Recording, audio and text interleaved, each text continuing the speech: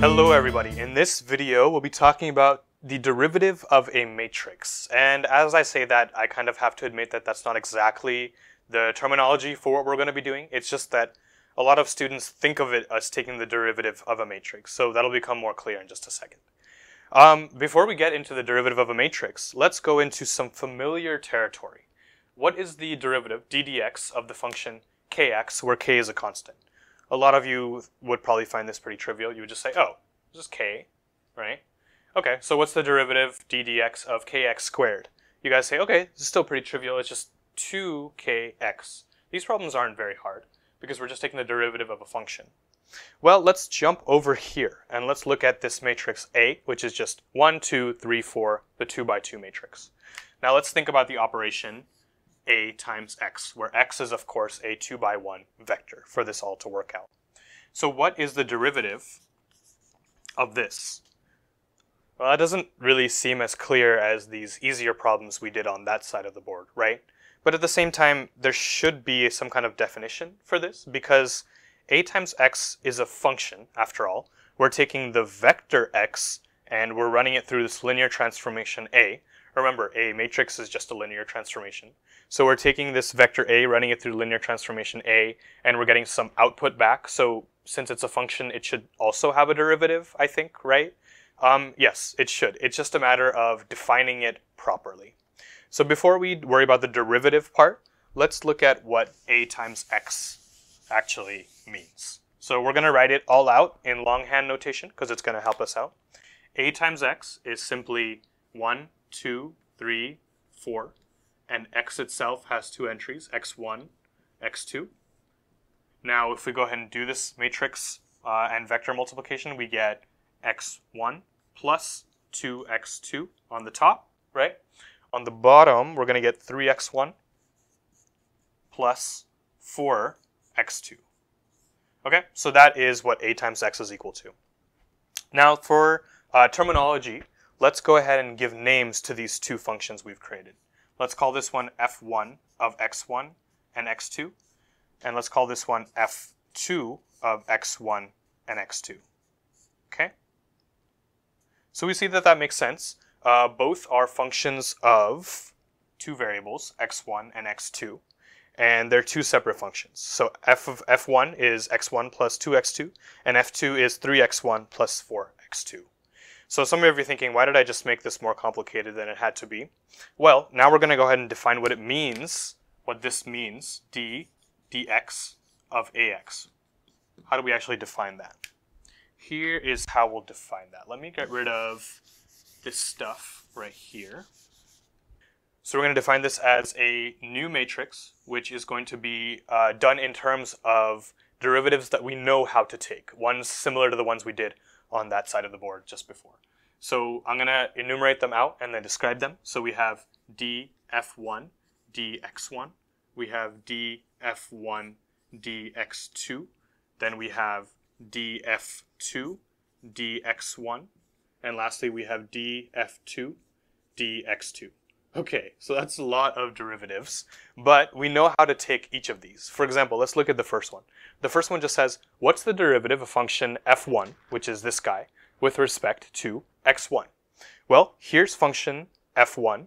What's the derivative of this function with respect to x1?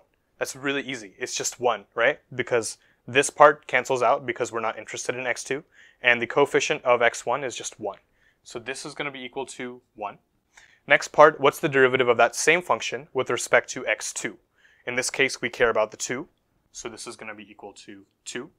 The next question is what's the derivative of f2, the second function down here, with respect to x1? Uh, that's 3. And then this last one will be 4, because it's the derivative of the second function with respect to x2. So we get that the derivative of this linear transformation a times x. So uh, here's where I want to say that we're not really taking the derivative of a matrix.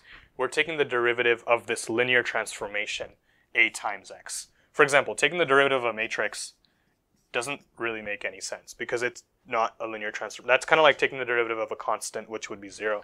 Um, so we're taking the derivative of this linear transformation right here, which happens to involve matrix A. So that means that after we've done this derivative, we have found that the answer is 1, 2, 3, 4. Where did you see that matrix before? That was the original matrix A, of course. So that means that after all of this work, we have found that ddx of this linear transformation, a times x, is equal to a. And the reason I think this is so awesome is because it has a very clear analog to this problem we did in the beginning, where we did ddx kx is equal to k. It's this k back then was a scalar, like a number like 1 or 2, and we found that its derivative was just that number itself. In the same way, this matrix A is not a scalar, but it's a collection of scalars in a little box, and we find that when we take the derivative of a times x, we get that collection of scalars in a little box back, which is awesome. It's, it's just kind of elegant that way. Now, before we close this video, let's look at one more uh, matrix-related derivative, which is a little bit tougher. Um, but we're going to look at it because it shows up a lot in our data science videos we'll be looking at in a bit. So here's a new linear transformation. Um, we have x transpose ax. So here's our new function that we want to take the derivative of. Before we take the derivative, let's try to understand this function, okay? So in this case, we're going to leave a in a more general format. We're not going to give any concrete values, so we can do this in a more mathematical way. So x will be x1, x2. So that transpose just takes the long way of the vector and squishes it into its flat uh, version right here. So let me write this a little bit bigger. We have x1, x2.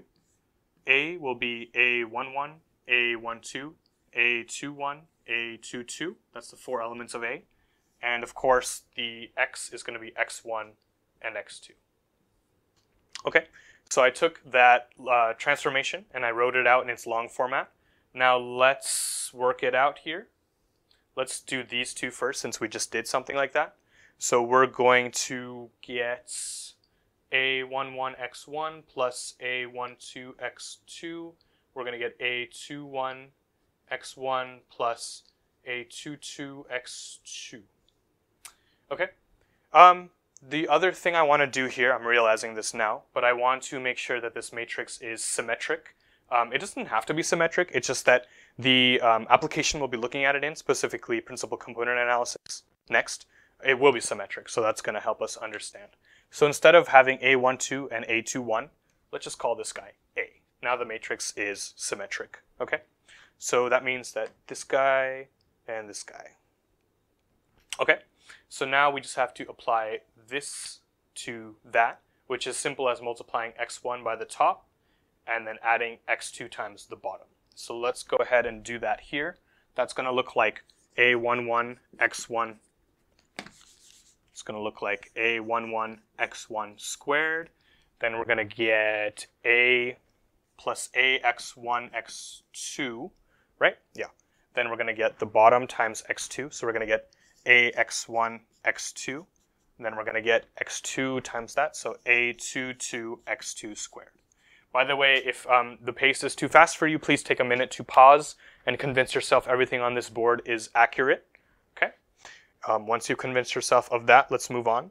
We see we have a ax1, x2 term here, and also here, so we can just put two of them, simplify that. And the reason we were able to do that is because of the symmetricness of that matrix, okay? Cool, so now we have this guy, and we'll call this some function of x1 and x2. Let me erase this stuff here. Now, what does it mean for us to take the derivative d dx of this linear transformation right here? Well, in this case, we only have one function, so it's going to be as simple as df dx1 and then df dx2. So we only have one function.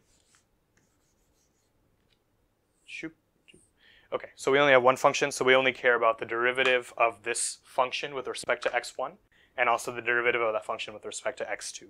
So let me pause here before we actually work out the answer. in general, you're going to basically write out the complete form of whatever function you're taking the derivative of. Um, here's a secret for you. Once you've done enough of these, you don't have to write out the complete form. You can kind of just see the patterns, um, as we'll see in a second. But for now, you'd write out the complete form. You would see how many different functions you have. In this case, we just have one. In the previous case, we had an f1 and an f2, both of which were functions of the two variables. And then you would take the number of functions times the number of variables, and you would create a new matrix, which is basically every pairwise derivative. So if you had, um, let's say, three different functions and four different variables, you would have a 3 by 4 matrix. And uh, one element of that matrix would be what's df3 with respect to dx2. And you would have every other combination. And that's basically what taking the derivative of some uh, operation that involves a matrix means. Back to our scheduled program. What is df1 with respect to x1? Well, that is going to be uh, 2a1x1, 2a11x1, plus 2ax2, 2ax2. What is df with respect to dx2? Uh, that's going to be 2a x1 and then 2a22 2a22x2 yeah okay cool. So that is I think that's falling off the page a little bit but you know what? Let me just rewrite it so that's the derivative there. Looks a little bit ugly. Can we clean it up? We can definitely pull a 2 out. 2's coming out right there so that's a little bit cleaner.